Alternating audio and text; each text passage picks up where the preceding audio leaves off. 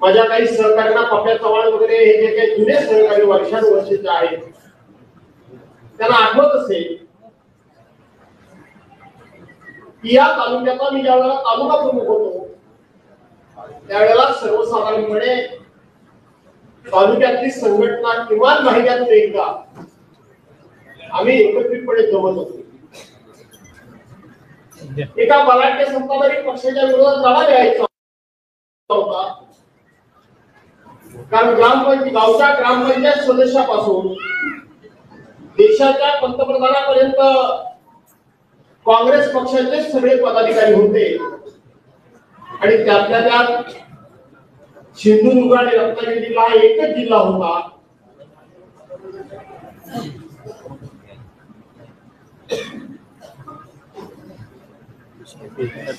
त्या सगळ्या दोन्ही जिल्ह्यातले मिळून सगळ्यात महत्त्वाचे पदाधिकारी हे आपल्या चिपळूण तालुक्यामध्ये होते.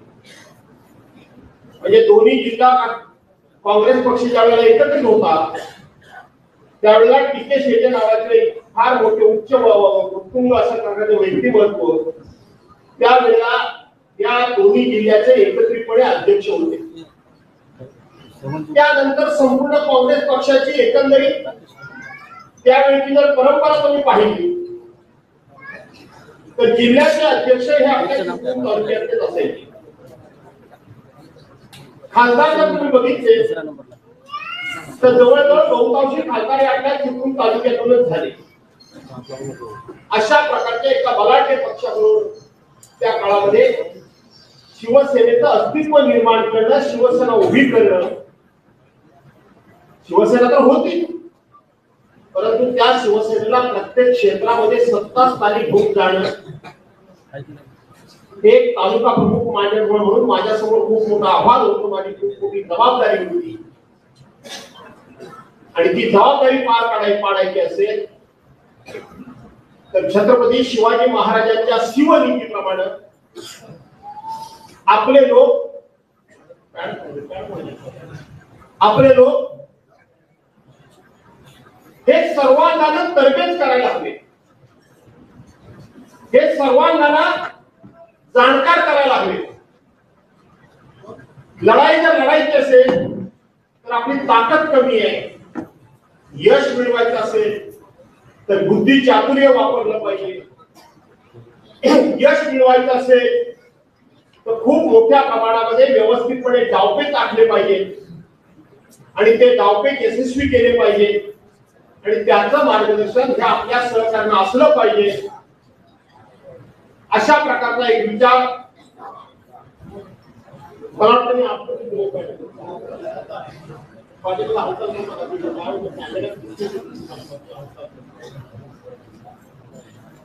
अशा एका विचारांना आम्ही एकत्रितपणे बसत असू आणि तासन तास चर्चा करत असू. व्यूहरचना करत असू. व्यूहरचना करून समोरच्या माणसाला कशा पद्धतीने शह द्यायचा याचं आम्ही नियोजन करत असू.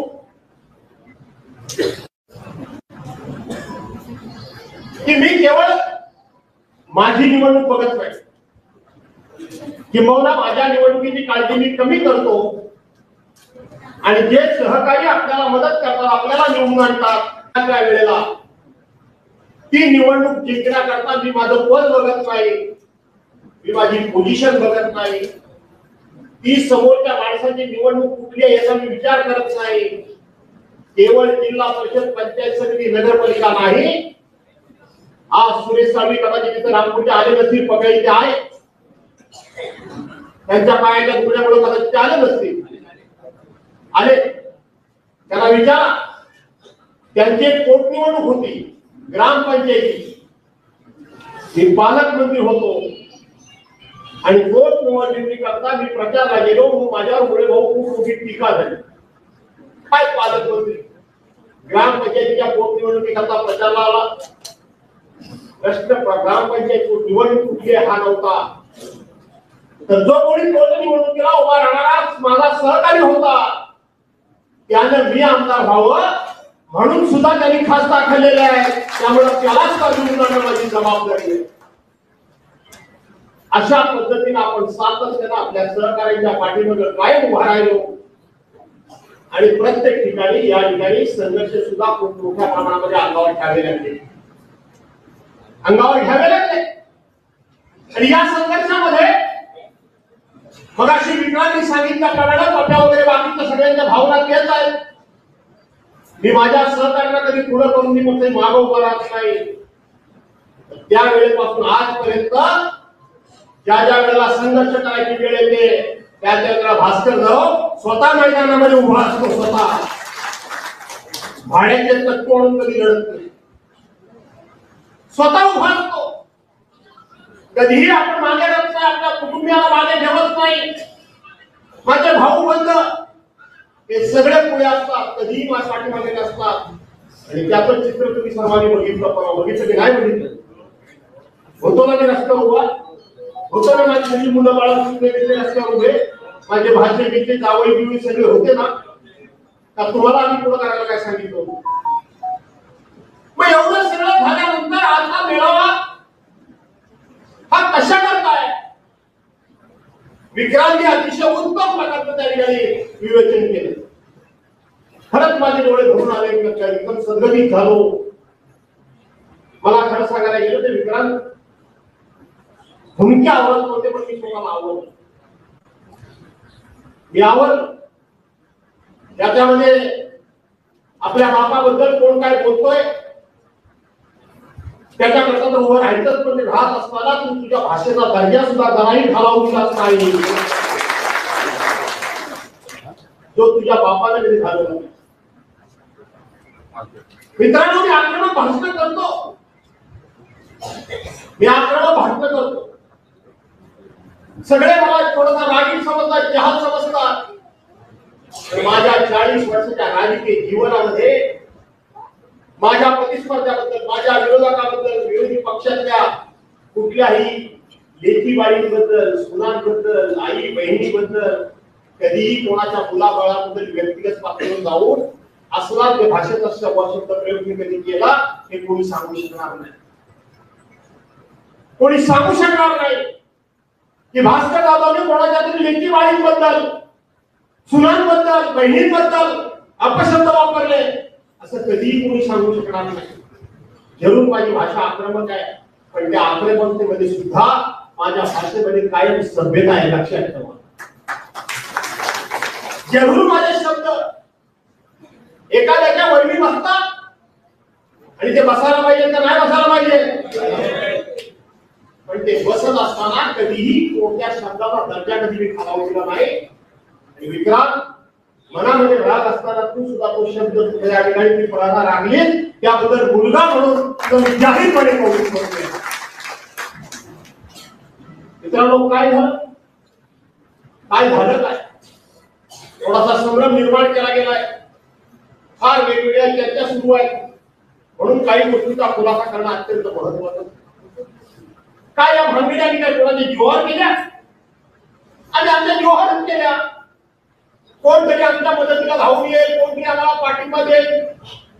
आणि मग आपण ते सगळं करायचं. हे काय ठरलेलं काहीच नव्हतं. किंवा याच्यामध्ये व्यक्तिगत आमचं कोणाशीही भांडण नव्हतं. भांडण नव्हतं. परंतु गेले तीन दोन वर्ष ज्या पद्धतीनं आपले पक्षप्रमुख या पक्षप्रमुखांबद्दल त्यांच्या कुटुंबियांबद्दल या घाणेरड्या शब्दामध्ये सातत्यानं बोललं जात आहे हे तुम्हाला मान्य आहे? याचा प्रतिकार करायचा नाही? या त्या शब्दाचं कधी उत्तर द्यायचं नाही? दिलं पाहिजे का नाही दिलं पाहिजे काय लागतं बाहेर बॅनर बॅनर लागतात टायगर आला आहे. चुकीला माफ़ी नाही बदला घेतला नाही हिशेब चुकता केला नाही वगैरे वगैरे वगैरे अशा प्रकारचे बॅनर असतात बॅनर लागतात राष्ट्रीय पक्षाचे. एका राष्ट्रीय पक्षाचे भारतीय जनता पार्टीचे. ज्या विश्वगुरु म्हणून त्यांच्या पक्षाचे समजतात त्या विश्वगुरूंचा फोटो त्यांची निशाणी त्यांचे पक्षाचे अधिकृत पदाधिकारी अशा प्रकारच्या ज्यावेळेला फोटो लावतात अशा प्रकारचे आव्हान देतात जिकडे तिकडे प्रसिद्धी करतात पिझर प्रसिद्ध करतात. त्यावेळेला भास्कर जाधवच्या पाठीमाग चाळीस वर्षाची पुण्य उभी राहिल्याशिवाय राहणार नाही. ती उभी राहिली परवाच्या पुण्याई पाठीवर त्याबद्दल योग्य ठिकाणी मी बोलेन. आता माझा तो विषय नाही. माझा विषय एवढाच आहे की थोडस घरभेदी जे घरभेदी आहेत ना त्यांनी थोडा संबंध निर्माण केला. काही ठिकाणी बोलले ते म्हणाले काय काय गरज होती? त्या सिंधुदुर्गात जाऊन भास्कर दोन्ही बोलायची. ते बोलले आणि भाषा कुठली वापरली? त्यांच्यासाठी भाषा मी वापरली ते बोलले. ते आता इकडे येऊन बोलले. आता भांडण झाली. आता ह्यांचा खंतखिंत कोणी करायचा? म्हणजे हा घरात आणि ह्याला काळजी घेणे खर्चाची. हा खर्च कोणी करायचा? अरे बाबा तुला कोण गेला तुझ्याकडे स्वतःला विचार? हा कोण गेला कोण? आणि जे रस्त्यावर उतरले त्यांचा विश्वास माझ्यावर आहे तुझ्यावर नाही आहे धक्का बसला चाळीस वर्षाच्या अनेक वेळा अशा प्रकारचे संघर्ष झाले. हे बाबूराव भद्रीचं बसले. बंधू टाकल्याला हयात नाही माझे आमदार बाबा आमचे बापूसाहेब खेडेकर हयात नाही विलास सेतोडेकर वगैरे ही मंडळी आहे ज्या वेळेला माझं नेतृत्व पुढे आलं त्यावेळेला खूप मोठे अशा प्रकारचे संघर्ष झाले. पण त्या संघर्षामध्ये कदाचित ते मदतीला धावून मिळाले यांनी कधी विरोधाला हात मिळवले ते म्हटले जाऊ दे त्याचा तो काय तो करतोय? त्याचा तो निस्तरी काय ऐकलाच नाही. या वेळेला या वेळेला लक्षात ठेवा उशाजवळ साप घेऊन झोप कधी येत नाही. उशाजवळ साप जर असेल झोप येईल तुम्हाला? येणार नाही. काय झालं पोलीस स्टेशनमध्ये कोण जात होता पोलीस स्टेशनमध्ये याद्या घेऊन कोण जात होता? आणि सांगत होते हा आमचा नाही हा भास्कररावांचा आहे. हा आमचा नाही हा भास्कररावांचा आहे. ह्याला बाहेर काढा ह्याला बाहेर ठेवा ह्याला अटक करू नका. कोण सांगत होत? माझ्या चाळीस वर्षामध्ये मी पहिल्यांदा बघितलं. बघितलं मी चाळीस वर्षामध्ये. काय झालं काय? आज इथं अशोकराव नवाडे बसले. अशोकराव नवाडे आमचे त्यांना तेवढं बाहेर ठेवा. गोट्या मोरे गोट्या मोरे तुम्हाला माहीत आहे? त्याच्या सख्या बहिणीचं लग्न होत. त्याच्या सख्या अशोक अशोक नवाडे म्हणजे तिथं नव्हत्याच हरगडीला ते रस्त्याच्या मुलीने चार फीट होते मी नंतर सगळ्या माहिती घेतल्या तुला गोट्या मोठ्या घरी लग्न त्याच्या सख्या बहिणीचं. बावीस तारखेला त्याच्या बहिणीचा साखरपुडा होता. शिरणमध्ये मी या सगळ्यांच्या घरी अकराच्या अकरा लोकांच्या घरी भेटायला गेलो. स्वाभाविक काय आईला वडिलांना वाटणार म्हटलं काळजी करू नका. बावीस तारखेला मोठ्या कुठल्याही परिस्थितीमध्ये तुमच्या घरी येईल बहिणीच्या साखरपुड्याला. कारण जामीन झाला होता. फक्त ऑर्डर हातात मिळत नव्हती. ऑर्डर करता किती दिवस बावीस तारखेचा साखरपुडा झाला मोठ्या सुटू शकला नाही. तेवीस तारखेला मी रामटेकला होतो. विदर्भाच्या दौऱ्यावर होतो. बावीस तारखेला मी गेलो. तेवीस तारखेला गेलो. तेवीस तारखेला आम्ही होणार होता तोही झाला नाही. तोही झाला नाही. चोवीस तारखेला सख्या बहिणीचं लग्न होतं. सख्या बहिणीचं लग्न होतं. काय झालं कसं असे विचार करा. कुठे चंद्रपूर कुठे गडचिरोली? कसा आलो असेल ते माझं मला माहिती आहे.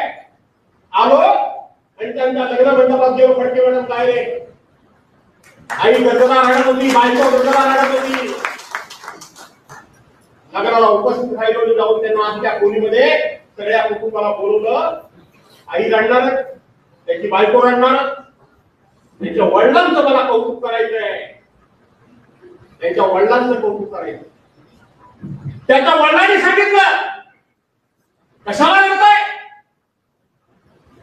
गोट्या मिळाला तर काय झालं? म्हणजे हेमंत मिळाला अगं गोट्याचा दुसरा अवतार मिठू म्हणण्याचे भास्करराव हा आपला गोटे आहे? तो पक्षाचा कार्यकर्ता नव्हता कोण यावर इतकं देते? कोण? हा उमेश कनादी आहे. याच्या वडील त्यांच्यावर आरोपपत्र होत. उमेश खताते आमचा आहे.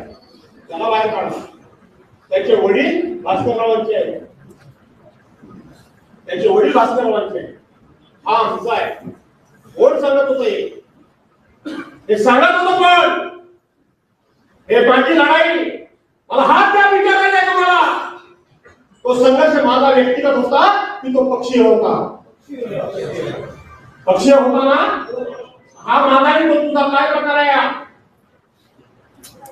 यानं आता आपण सोडवण्याचा प्रयत्न केला पोलीस तर काय पोलीस आता सध्या लाचारच झालेले त्याच्यात पोलीस पण राहिले नाही ते सध्या कोणी सांगावं? काम घर बस की बस उठ की उठ नुसता नावावर ड्रेस आहे म्हणून ते पोलीस. बाकी पोलीस नावावर काढू नका.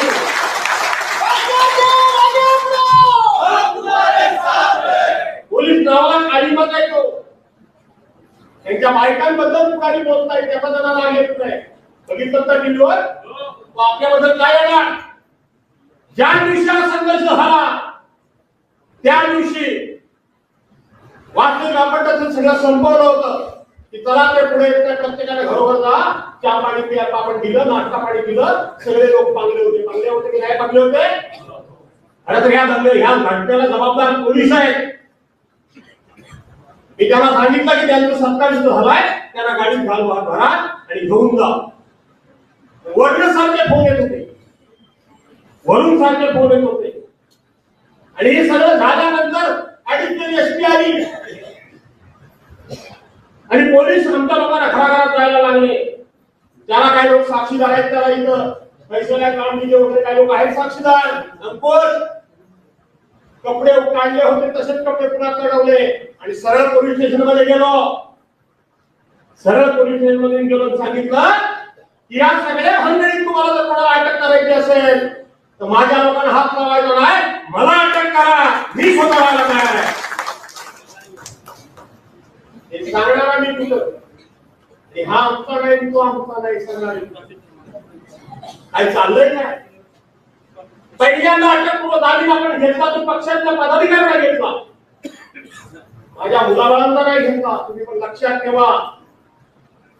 कोणाचं नेतृत्व स्वीकारायचं कोणाच्या पाठीमागे उभं राहायचं? मी तर आता शेवटी माझं शेवटी तो वय इतकं बघितलं तर मी किती काळ तुम्हाला सहकार्य करून मला माहीत नाही. आहे अजून मजबूत आहे ना? लक्षात ठेवा तुमच्या आयुष्यामध्ये तरुण पिढीला उपयोगी आहे माझे जावई माझी मुलं माझे पुतळे यांचा पहिल्यांदा मी अटक करून आम्ही घेतला नाही. मला शक्य होतं ना? मी पहिल्यांदा अटक करून घेतला तो पक्षाच्या पदाधिकाऱ्यांना घेतला का पक्षाच्या पदाधिकाऱ्यांना अटक केलं तर पक्षाचं नाव बदनाम होईल. म्हणून पहिल्यांदा मी पक्षाच्या विभ्रतिकाचा पहिल्यांदा लढलो आणि त्यातल्या काही पदाधिकाऱ्यांचा आपण जामीन घेतला. ते पदाधिकारी सांगायला लागले आम्हाला.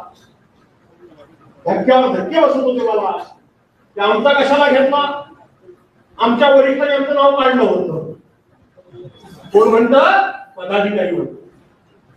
आमच्या वरिष्ठांनी आमचं नाव कोण हे वरिष्ठ? हे वरिष्ठ कोण? ती लढाई संघटनेची होती. राज्यात उतरलेला प्रत्येक माणूस हा संघटनेकरता होता. उद्धव बाळासाहेब ठाकरेंकरता लढत होता. ज्यावेळेला पदाधिकारी सांगतात की आमचं वरिष्ठांनी नाव काढलं विश्वासघाती राजकारणाचं झालं या ओळीला अंत हाय. त्या पत्रातल्या. होय!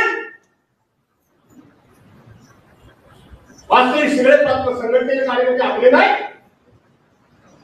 आणि करून या सगळ्याचा पुढारी मी होतो. कोणाला काढायचं नाही कोणाला काढायचं नाही हे मला विचारावं नको. मला विचारलं पाहिजे. माझ्याकडे त्यांनी झाली पाहिजे. आज कोणी जिवंत ते पोलिसच मला सांगत होते. हे हे तुमच्या पक्षाचे पदाधिकारी येत होते. आणि हे मला सांगता सांगत होते की हा वास्तव नावांचा आहे. ह्याला अटक करा. हा माझ्या आमचा आहे. ह्याला सोडा. हे मान्य आहे तुम्हाला? हे मान्य आहे का तुम्हाला? म्हणून म्हटलं की असे सात उशाला घेऊन झोपा झोपून तुम्ही झोपू शकत नाही. ही असली भानगड म्हणजे काय? ही भास्कर म्हणजे हातात अंगावरचा मळ सुद्धा नाही. हे तिच्या आहे, नाही, नाही. हे बँक आहे कोण करतो ते सगळं. मी स्वतः सांगतो की मला अटक झाली. मी स्वतः धडपडतोय. सगळ्यांचा पहिल्यांदा अटक करून जामीन घेतले आणि मग माझ्या मी मुलांचे सगळ्यांचे काम उदरवाय घेतले माझे मी. काय नवीन काय? अशा पद्धतीच्या अफवा महाराष्ट्रामध्ये आज जाणीवपूर्वक विरोधी पक्षाचे लोक पण पसरवत आहेत. आणि सत्ताधारी पण आमच्या जवळ पसरवत आहेत. ते काय नाही हो?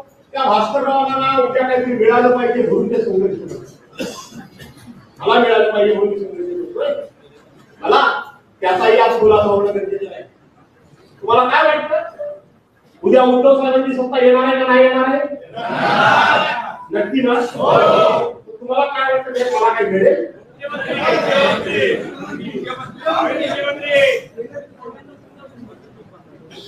तुम्हाला आजच सांगतो तुम्हाला काही मिळायचं नाही. मी आजच सांगतो. आणि मी त्याच्याकरता लढतच नाही. त्यामुळे मला त्याचं काही दुःखच नाही. कारण ज्याची अपेक्षाच मी केली नाही ते मला मिळणार नाही तर दुःख काय मला वाटणार आहे?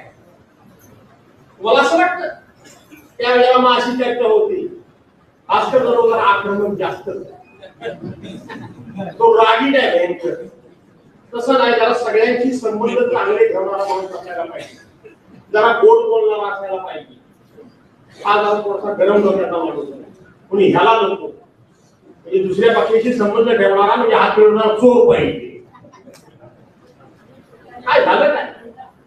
हो, आज सगळ्यांना मी सांगून टाकतो. मी जो लढतोय तो काहीतरी मिळणार आहे म्हणून लढणार नाही आणि लढत पण नाही. आणि मिळायचं असतं तर मला दोन हजार एकोणीस साली मला मंत्री करायला हवा होता का? नको होता. सगळ्यात सिनियर कोण होता? मीच होतो ना. पूर्वी शहरात पवार साहेबांनी मला मंत्री केलाच होता ना. इथं मला केला. मी कधीतरी माझ्या भाषणामध्ये कधीतरी याचा उल्लेख केला. सांगा त्याला एकाला कुणी पण सांगा. की मला केलं नाही वगैरे असं. एकदा फक्त ज्या दिवशी मंत्रिमंडळाचा विस्तार झाला त्या दिवशी झी चोवीस तास फक्त मी एकदाच एकच वाक्य बोललो ते मला चांगलं आठवतंय की माझा हक्क होता. मला मिळायला पाहिजे मिळणार माझा हक्क होता परंतु माझ्यावर अन्याय अन्याय शब्द मी वापरला नाही मी बोलतो. त्याच्यावर त्यांनी पुढचा प्रश्न विचारला की तुम्ही नाराज आहात काय? मी व्यक्तीची की नाराज नाही हा विषय आजपासून मी सोडून टाकला थोडा तुला घेऊ ना? मी त्या दिवशी सांगितलं त्यानंतर कधीही स्वतःचा मोठेपणा वाढवण्याकरता काय काय लोक स्वतःचा मोठेपणा वाढवण्याकरता खूप वेळा बोलतात स्वतःबद्दल. कधी बोललो नाही. त्याच्यानंतर उद्धव साहेब मुख्यमंत्री असताना हे भाजपमध्ये सकाळ संध्याकाळ अटॅक करून होते त्यांच्यावर. करत माहिती आहे का तुम्हाला? त्यावेळेला ज्यांना मंत्रीपद दिली नाही त्यांनी किती जणांनी तोंड उघडली होती हो? आज जे उद्धव साहेबांवर बोलतात त्याने तोंड उघडली होती? मी गप्प होतो? मला मंत्रीपद मिळालं नाही म्हणून जाऊ द्या बोलले मला काय करायचं? असं मी कधी केलं? मी लढत होतो. लढत होतो का? राहतो लढत होतो? दुसरा किस्सा तुम्हाला मी सांगतो. ज्या वेळेला पक्ष फुटला त्यावेळेला गटनेता बदलायच्या वेळेला एकनाथ शिंदे गटनेते होते. दादा गटनेता कोणाला करायला हवं होतं? मनापासून सगळा कोणाला करायला हवं होतं? विधानसभेमध्ये आज कोणाचा आवाज आहे? पक्षानं मला घटनेला केलं नाही. पक्षानं मला घटनेला केलं नाही. पण गट नेता केलं नाही म्हणून कधी भाष्य केलं? कधी तोंड उघडलं? कधी नाराजी व्यक्त केली? कधी सभागृहामध्ये संघर्ष करायचा थांबवला? थांबवला काय संघर्ष करायचा त्यांच्या विरोधात बोलायचं थांबवलं? मला केला नाही. तिसरी गोष्ट मला आज सांगतो. विक्रांत खूप चांगलं उत्तर दिलंस. खरं तर त्यात असल्या लोकांना उत्तर द्यायची काही गरज नाही. पण तो माझी बॅग भरत होता मी एकनाथ शिंदेच्याकडे जायला होतो तेव्हा. माझे कपडे बिपडे तोच भरत होता? इस्त्री बिस्त्री वगैरे तोच करत होता? अचानकपणे जायचं होतं ना पळून जायचं होतं ना लपून जायचं होतं ना. त्यामुळे तयारी नव्हती त्यामुळे माझे कपडे त्याला इस्त्री करतो खूप पॉलिश करतो काय करतो करत होता त्यावेळेला त्याचा कृष्णा सांगतो तुम्हाला. वीस तारखेला मतदान झालं. वीस तारखेला मी रेल्वेतून इथं आलो. एकवीस तारखेला सगळे गुवाहाटीला काय गेला सुरतला गेले गोवाटला गेले किशोर मी इथंच होतो. त्या दिवशी आपली मिटिंग होती इथं. इथंच होतो. आणि मला उद्धव सरांना फोन आला. आपल्या कार्यालयाच्या समोर. तुम्हाला ताबडतोब मुंबईला यायला पाहिजे. मी मुंबईला गेलो ट्रेन नव्हती. एक ट्रेन दिल्लीला जाणारी होती जी लेट झाली होती चार साडेचार तास. ती आपल्याला मिळाली. तुम्हाला माहीत असेल काय लोकांना? मी गेलो. खरं तर पनवेलवरनं डायरेक्ट आम्हाला तिकडे घ्यायची वाचली. ट्राफिक मोकळं ठेवायला पाहिजे होतं ते ठेवलं नाही. वेळ झाला. आणि उद्धव साहेबांच्या वर्षाबरोबर बैठक झालेली होती. मी हे कधी माझे स्वतःचे किस्से मी कधी बाकीच्यांसारखे सांगत नाही. की आम्ही उद्धव साहेबांच्या मागे निष्ठेने कसे आहोत आमच्यावर काय काय होतंय हे कधीच मी सांगत हा सांगण्याची वेळ आले मी गेलो वर्षा मागल्यावर त्यावेळेला जवळजवळ सगळी बैठक बसलेली होती झाली संपत आली होती. सगळे अकराचे अकरा खासदार उपस्थित होते. पहिल्या टप्प्यातले सतरा अठरा आमदार फक्त गेले होते. बाकी सगळे आमदार तिथे उपस्थित होते. बाकी सगळे आमदार उपस्थित होते. तिथे हे बॅग भरणारे पण आमदार उपस्थित होते माझे रात्री बॅग भरायला होती केव्हा होते. भरायची बॅग भरणारे. लक्ष आलं तुमच्याकडे नाही? ते पण माझी बॅग भरलं म्हणजे तेव्हा काय भरायचं ठरलं नव्हतं. त्यामुळे इस्त्री काय करायची नव्हती. मिटिंगला होती. ते होते. सगळ्यांचं ते ऐकून घेतलं. सगळ्यांचं. मी शांतपणे बसलो होतो. मला अभिमान वाटेल मी पुढचं वाक्य सांगितलं. आणि तो वाटायला हवा ज्याला खऱ्या अर्थानं स्वाभिमान काय तो कळतो निष्ठा काय ती कळते प्रक्षेप काय ते कळतं आणि ज्याला खऱ्या अर्थानं भास्कर जाधव काय तो माहिती आहे त्याला अभिमान वाटेल असं पुढचं वाक्य सांगतो मी. सगळ्यांचं ऐकून घेतो मी काही बोललो नाही. आणि त्यांचा आग्रह होता की आपण बीजेपी जाऊ अमुक करू तमुक करू त्याला ते काय बोलत ते बोलत होते. ह्या एकट्या भास्कर जाधवनी सांगितलं उद्धव साहेब तुम्ही पक्षाचे पक्ष प्रमुख आहात. तुम्ही आमचे नेते आहात. तुम्ही राज्याचे मुख्यमंत्री आहात. तुम्ही काय निर्णय घ्यायचा हा सांगणारा मी कोण? बरोबर आहे निर्णय तुम्ही घ्यायचा तुम्हाला काय वाटेल तो निर्णय घ्या. पण मला असं वाटतं की तुमचा निर्णय घेण्यापूर्वी मला माझी भूमिका स्पष्ट करणं आवश्यक आहे. म्हणून मला आता माझी भूमिका स्पष्ट केली पाहिजे ते मी म्हणतो. म्हटलंय माझ्या तुम्हाला वाटेल तो सांगतो तुम्हाला आता. ती भूमिका स्पष्ट करतो. तुम्ही कुठेही जा. पण तुम्ही मी नंतर माझी भूमिका स्पष्ट केली तर मला भास्कर जाऊन फसवला पण आत्ताच सांगतोय की तुम्ही कुठेही जा. पण तुम्ही जर भाजपबरोबर गेला तर भास्कर जातो तुमच्या बरोबर नाही.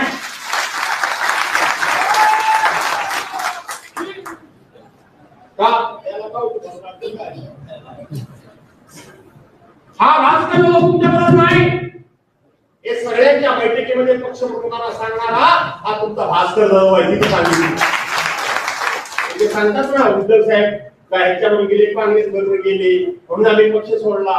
अडीच वर्ष मंत्रीपद भोगताना माझा नाही वाटले तेव्हा सांगितलं धाडस करायला दाखवलं की तुम्ही भाजप बरोबर आपल्या काँग्रेस राष्ट्रवादी बरोबर सरकार करणार असाल तर आम्ही तुमच्या मंत्रिमंडळात येणार नाही. ते धाडस तुमच्या भास्कर जाधवनी दाखवलं त्याचा उल्लेख मी कधी केला नाही पण मी उद्धव साहेबांना सांगितलं मी तुमच्याबरोबर नाही. उद्धव साहेबांची एका सेकंदात एका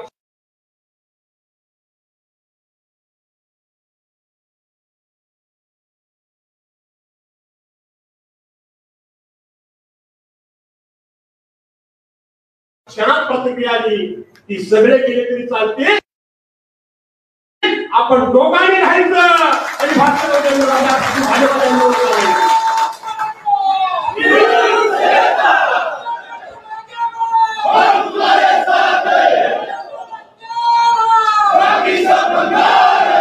आपण दोघे राहिलो तरी चालेल. तर जाधव लढतोय. तो मंत्री मंत्री सदा करता नाही तर आपल्या पक्षाप्रमुखाला दिलेल्या शब्दाकरता भाजपला लढतोय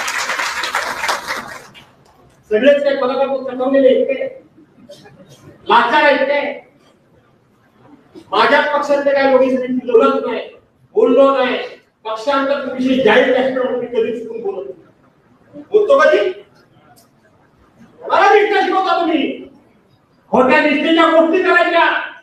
आपल्याला सांगितलं काय खोटं सांगितलं नाही कोण होतं त्यावेळेला राष्ट्रवादीला मत द्या म्हणून सांगणारे माझ्या विरोधात कोण होते कोण मी तर नव्हतो कुठल्या पक्षात? मी तर पक्ष निवडणूक लढवली मी ह्या माझ्या सहकार्याच्या जीवावर. होता कोण तेव्हा शेवटी राज्याला अशी परिसीमा झाली की कोण उघडावं लागतं. उघडायला पाहिजे ना? मी सांगितलं मी येणार नाही भाजपा बरोबर कोणाला? कोणाची बदनामी करताय हे पत्र सुद्धा काढतो व्हायरल कुणी केलं? आहे काय त्या पत्रात? त्या पत्रात हे जे कोण गद्दार आहेत त्यांच्यापासून तुम्हाला सावध करावं. आणि उद्धव साहेबांना घेणा फडकवावा ह्या असलेल्या पत्रावर लिहिलेलं आहे अर्थ त्याचा तो आहे. तुम्ही गेलं व्हायरल मला माहिती आहे. पण ते शोधणं आता जबाबदारी पक्षाची आहे माझी नाहीये वाटतं पक्षाला शोधेल त्याचं शोधणार नाही त्यांचं त्यांनी ठरवायचं. सगळ्यात काही जबाबदारी आमचा नाहीये आणि म्हणून व्हायरल कोणी केलं बरं? दुसरा मला प्रश्न विचारायचा आहे. पंड्या बोरुकराचा म्हणा की तुम्ही लढवा म्हणून. आमचा पक्या म्हणाला बाकी त्यांच्या भावले आहे.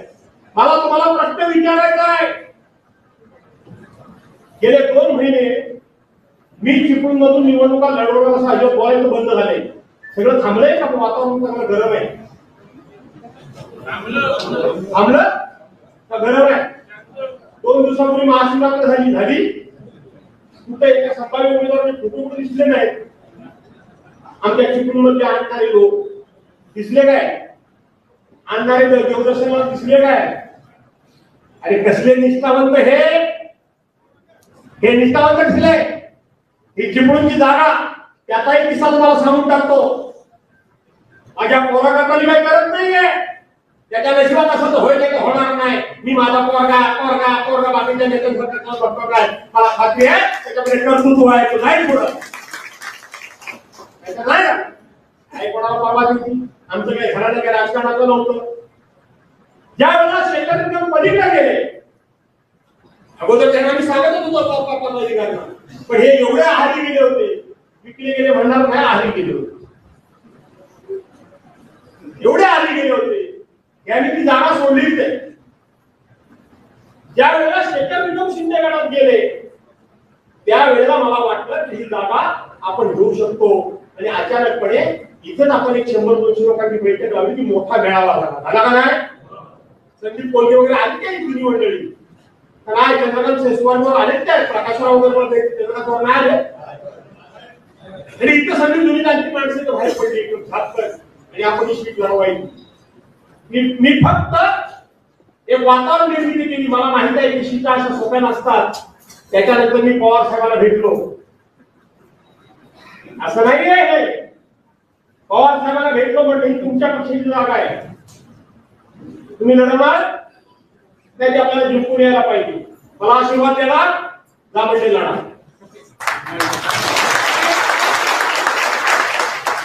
योगायोगाने त्यांच्या पक्षाची जयंत पाटील झाली अध्यक्ष.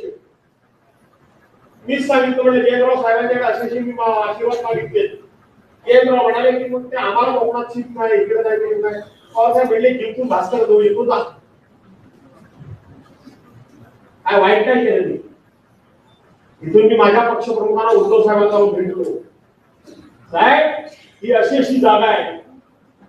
ती जागा जरी त्यांची असली तरी तुम्ही मला जर म्हणत असाल तर मला मी पवार साहेबांकडे ही जागा सोडवून घेऊ शकतो. उद्धव साहेब मला म्हणले ठीक आहे. एकदम किडा कोणाच्या वळवळला माझं नाव सुटल्यानंतर कोणाच्या किडा वळवळला आता तो किडा कुठं गेला काय गेला कुठं किडा तो? त्याच्यानंतर या सचिन कदमला मी विचारलं. तुमच्या माहितीला कसा सांगून ठेवतो. अरे तू जो काय नेहमी सांगतो मी निष्ठावंत आहे मी निष्ठावंत आहे मी निष्ठावंत आहे तुझ्या निष्ठा मी बऱ्याच बघितले त्यामुळे तुला न्याय मिळाला पाहिजे. लढ. ते हो काय नाही, मी विचारलं हे प्रशांत जाधव वगैरे जे आता काही इच्छुक आहेत तो विषय आहे त्यांच्या घरी मी गेलो. भास्कर राव राजकारणात डावपेच खेळायला कमी नाही आहे. त्यांच्या घरी गेलो. त्यांना म्हटलं तुम्ही इच्छुक असाल तुम्ही लढवा. ते म्हणजे नाव हो, जिंकून येत असेल तुमच्याशिवाय पर्याय नाही. मी रवींद्र मानेच्या घरी गेलो. मी सुभाष राणेला भेटायचा प्रयत्न केला म्हणजे मुंबईमध्ये होतो. बरोबर का म्हणल्या बरोबर ना पुन्हा आता आणखी कोण देऊ का राहायला भेटायचं त्याला? याला विचारलं या केले की बाबा मोठी म्हटली बाबूला विचार विचारलं बाबा प्रतापराव कोण लढता काय? लढा. इथं काय चाललंय तुम्हाला माहितीये? आहे निष्ठेच्या गोष्टी करायच्या. आम्ही फार निष्ठावंत आहोत. आम्ही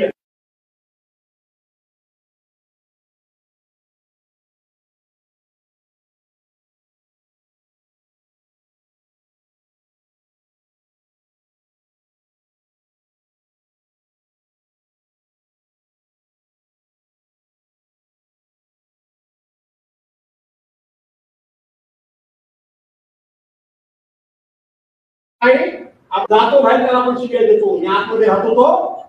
हे असे धंदे करतो. हे धंदे असे करतात. आणि म्हणून हे सगळं एका बाजूला सांगायचं भास्कर राव तुम्हीच. आणि दुसऱ्या बाजूला दुसरा माणूस घेऊन यायचं. आणि त्याला सांगायचं तूच. तूच फक्त माझं काय ते बघ इकडे. पण शिवसेना खड्डे मला धन्यवाद दिले पाहिजे देवरूपला धन्यवाद दिले पाहिजे तर काय आमचा तालुका प्रमुख इथं वेदा फडके आहेत आमच्या महिला जिल्हा संघटिका आमचा इथं मुन्ना महाजन आपला मुन्ना खरवल आहे. असे अनेक आहेत. या सर्वांनी एकच सांगितलं सुरेश कदम संपर्क प्रमुख आहेत त्यांनी एका शब्दात सांगितलं की जागा मी म्हटलं त्यांना की बुवा तीन वेळाची तुलना मिळालेली आहे. या वेळेला तुम्हाला ही जागा मिळाली पाहिजे. तुमचा हक्क आहे सांगितलं. त्यांनी जे सांगितलं ते महत्वाचं आहे. त्यांनी सांगितलं भास्करराव आम्हाला उमेदवारी मिळेल पण आम्हाला उमेदवारी नको आम्हाला आमदार हवाय. म्हणून संगमेश्वरची चुकून हा बात नाही. तुम्ही उमेदवार असाल तर हे निवडून येऊ शकता. हे यांचे उद्गार होते आम्हाला आमदार हवं. हे निष्ठावन खरे खरे निष्ठावन दोन महिने आता मी गप्प आहे. कुठे गेले? इच्छुक उमेदवार. आणि कुठे गेले? त्यांना खेळवणारे चालवणारे. का दुसरा गिराईक मिळाला आता कोण? दुसरा गिराईक नाही मिळाला आता. तर प्रशांत पण मजबूत आहे तसा काय कमी नाही आहे. फक्त आता शेतकरी जास्त प्रशासन एवढाच फक्त सौदा करायचा राहिला शिल्लक. तुम्हाला काय हवाय? आमदार हवाय का ह्यांचे किस्से भरणारा हवाय? या अशा अनेक गोष्टी आहेत. ज्याचा उल्लेख करण्यात मला शिकेला की मी कधी घेतला माझ्या टीव्हीवर शब्द येऊ देत नाही. मंत्रिपद मिळालं नाही मी कधी चिडलेलो नाही. गट नेतेपद मिळालं नाही मी माझं काम कधी सोडलं नाही. आणि आता सुद्धा तुम्हाला माझा भारताचा मुद्दा हा होता की तुमची समज जर असेल की मला कोणी काहीतरी मिळत मिळतंय म्हणून मी हा संघर्ष करतोय. मला काहीतरी मिळेल म्हणून मी लढतोय. मित्रांनो तुमच्या मनात जर संशय निर्माण झाला तर सगळ्यात जास्त दुःख मला होईल मी कशा करता लढत नाही मी एवढंच लढतोय की माझ्या शिवसेनेवर माझ्या पक्षप्रमुखावर अन्याय झालाय त्या अन्यायाच्या विरोधात लढलंच पाहिजे याच्याकरता मी लढतो बघा अशी मित्रांनी सांगितलं माझ्या कोणते शब्द बरेचसे घेतला नाही मैदान सोडणारी माणसं आली नाही हो. हे अशा भानगडी तुम्हाला काय वाटतं? आम्हाला त्रास नसेल हो. का सोडायचं मैदान? सोडायचं? मी तुमच्या पुढचं माहिती करता सांगून ठेवलंय. ते पुन्हा सांगतो सांगायला नको ते सांगतो. मी उद्धव साहेबांना सांगितलंय. तुमच्या मनात माझ्याबद्दल काय असेल ते असू द्या. मी माझं भलं करायला की वाटलं करा ते तुमच्या हातात तुम्हाला काय करा ते करा. तुम्ही काही करा. पण मी तुम्हाला शब्द देतो तो शब्द मी पुरा करेन. की दोन हजार चोवीसपर्यंत विधानसभेची निवडणूक होईपर्यंत तुमची साथ सोडणार नाही म्हणजे नाही. साथ सोडणार नाही सांगितलं. त्यामुळे कालच्या बातम्या मीडियाने पेरल्या. हा का कुणी पेरल्या? पेरल्या ना? हे लक्षात ठेवा. आता मी त्याला कशाला देऊ उत्तर? त्या गोष्टी करता मी काल एक स्टेटस टाकलं होतं. एका शब्दाचं उत्तर आहे माझं. मी स्टेटस टाकून दिलं होतं. काय बोललो नव्हतो. मी एवढंच फक्त बोललो होतो. योद्धा जेव्हा शरण जात नाही. योद्धा जेव्हा शरण जात नाही काय झालं? शिवाजी महाराजांची बदनामी थोडी झाली. संभाजी महाराजांची बदनामी थोडी झाली. शाहू महाराजांची बदनामी थोडी झाली. बाजीराव पेशव्यांची थोडी झाली. माधवराव पेशव्यांची बदनामी थोडी झाली. अरे एवढंच कशाला? ती माऊली चौदा वर्ष वनवास होऊन आली. त्या सीतेची सुद्धा बदनामी. झाली का नाही झाली? तिला पुन्हा जावं लागलं की नाही बाहेर? चौदा वर्षाचा वनवास भोगून शेवटचा काळ सुद्धा तिच्यावर टीका झाली तिच्याबद्दल तिला त्रास दिला गेला तिला बदनाम करण्यात आलं. झालं ना भास्कर तो कोण आहे?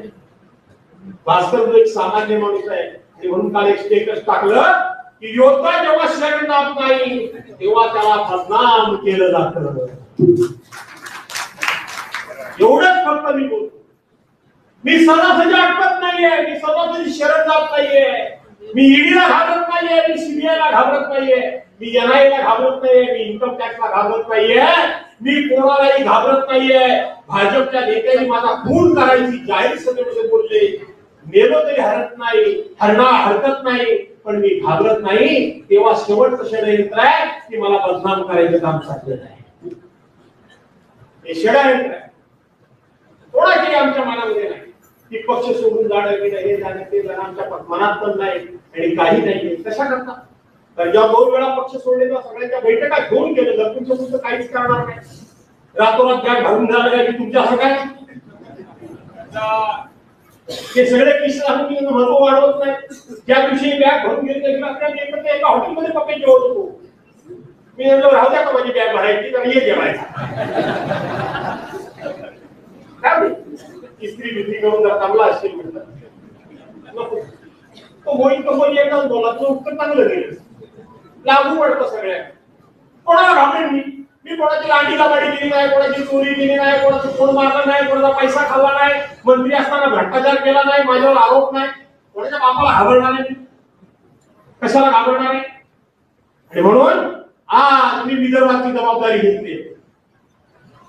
अठ्ठावीस आमदारांचा एरिया मला दिलाय अठ्ठावीस ते दोन नव्हे साडेपाच खासदारांचा मला आमदार दिलाय प्रकाशराव मोरे तिथं एकही आमदार सेनेचा नाही.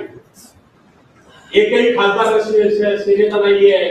मी उद्धव साहेबांना सांगितलंय की इथं आपल्याला पक्ष उभा करण्याची संधी आहे. यश अपयशानंतर आहे.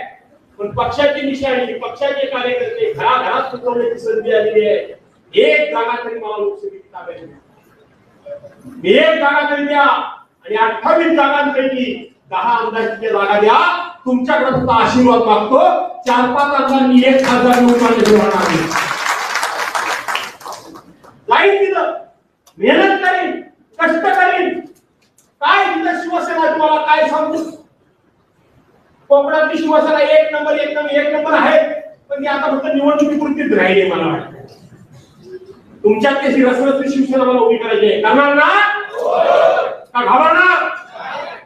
अरे तुमच्या अंगात तर नुसत्या अशा लाडी आल्या पाहिजे नुसतं दिसला दिसला नेताजी शिवाजी महाराज अमुक तमुक घटनांनी हे तिथे आणि सर्वोत्तर विरोधी दिसला की गप्प म्हटलं तुला हे दिसलं पाहिजे आणि म्हणून मी विदर्भामध्ये काम करणार आहे काही नाही मनामध्ये ठेवू नका अर्ध्या वाटत कोणाला आयुष्यात सोडलं नाही सोडणार नाही कुठल्याही स्वार्थाकरता लढत नाहीये पक्ष प्रमुखांना शब्द दिलाय म्हणून लढतोय लढत राहणार आहे त्याच्यामध्ये कुठेही कमतरता काही ठेवणार नाहीये हे पहिलं सांगतो मिळण्याची अनेक वेळा संधी आल्यानंतर सुद्धा कशी हुकली? दोन हजार चार साली मला उमेदवारी मिळाली पाहिजे होती. त्याही वेळेला हेच होते. सांगणारे कान फुंकणारे आणि म्हणून अशा अनेक शिवसेनेमध्ये माझ्या संध्या हुकलेल्या आहेत. तरी मी नाराज नाही.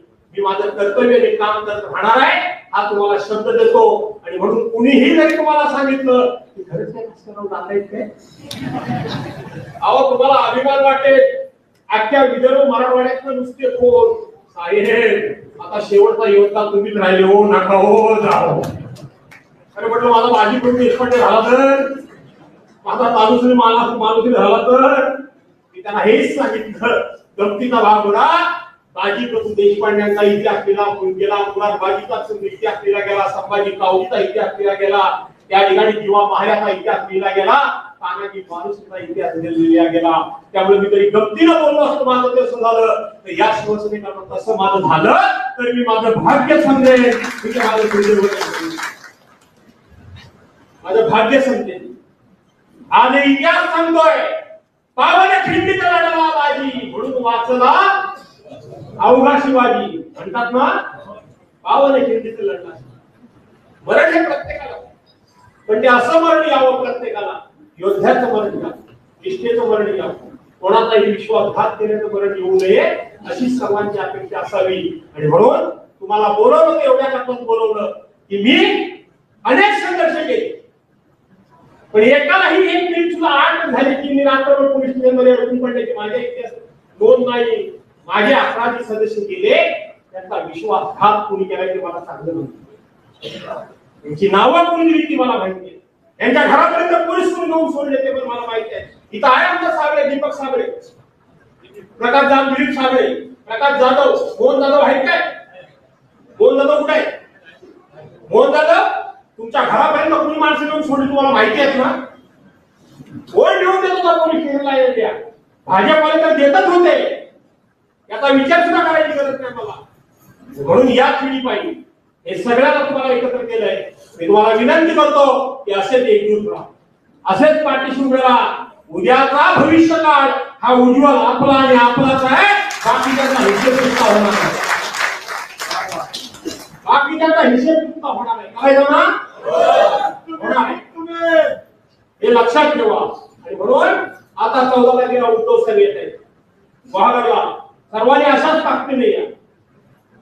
मला काय माहिती तर बोललो की हीच एवढी सभा झाली आणि काय सभा असते बरोबर आहे का नाही हो दादा बरोबर आहे गाडी सभा वरवर बघा चारी बाजूला काय माणसं घ्यायची काय होऊ नये त्या झाडाच्या खाल्लं लहान मुलं आपण ऐकत माणसं वाटली आणि म्हणून तुम्हाला शुभेच्छा देतो पाठीशी उभे राहा.